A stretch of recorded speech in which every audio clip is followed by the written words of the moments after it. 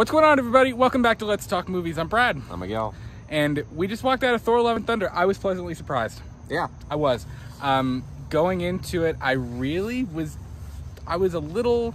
No, we both walked into this movie like really skeptical. I'm not gonna lie. I was, and I. It's not that I, I wanted to like it, and I did like it. Um, just some of the reviews, some of the things that were said about it, about the lack of seriousness. Um, We were worried it was gonna be a little campy. yeah, it was just basically just going to be a, a Marvel comedy, and it was in a lot of sense. But it was also there. There were some really like um, emotional moments too, and Gorr had some pretty sinister, dark, weird moments too. Christian Bale did a really, really great job um, in portraying that. It, stylistically, it was different. What do you mean? Wait, what?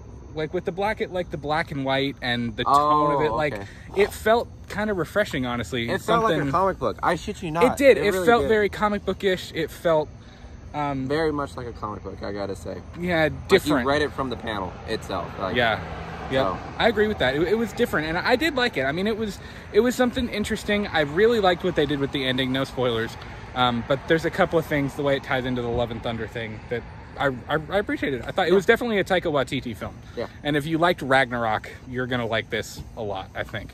Um, the Guardians cameo was pretty cool too. Yeah, it was it funny. was. It was just it's cool to just see that dynamic. So um, we will do a full review of this at some point, a spoiler review. I'm not exactly sure when. Be sure to follow us on Twitter and Instagram at We Talk the Movie so that you can stay up to date on that. I'm not quite sure when we're going to do that show.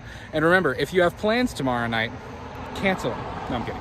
Uh, because Mike and Jay are joining us from We Watched the Movie to talk and I'm on Elm Street Part 3 Dream Warriors.